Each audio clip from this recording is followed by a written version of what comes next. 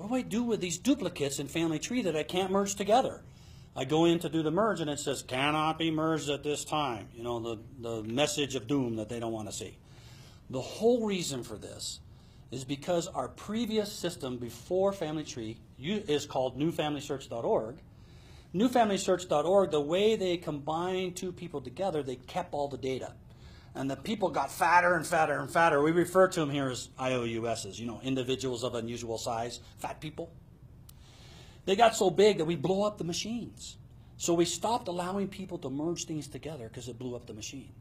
Well, when we created Family Tree, we wanted to solve this problem. We wanted to allow people to merge any number of copies because that's our goal. Have one copy of a particular person that existed in this earth.